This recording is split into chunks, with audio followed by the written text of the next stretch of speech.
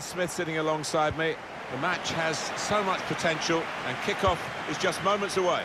Absolutely looking forward to this one. Now, there's certainly a buzz in this stadium in the uh, minutes leading up to kickoff.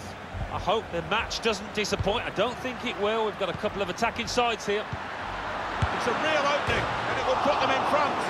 The post is bounced out.